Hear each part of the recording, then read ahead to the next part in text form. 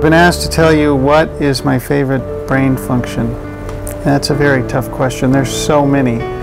Uh, I think one of the most important is certainly the ability to live in the moment and the ability to uh, learn from past experiences. Creativity. Uh, it comes from many places. In terms of a specific location in the brain, that's a, that's a tough question. The brain is very diffuse in many in many functions and things are spread out in many different areas. The most frustrating part of my brain I would say is my, my memory and uh, being a little bit too obsessive about things.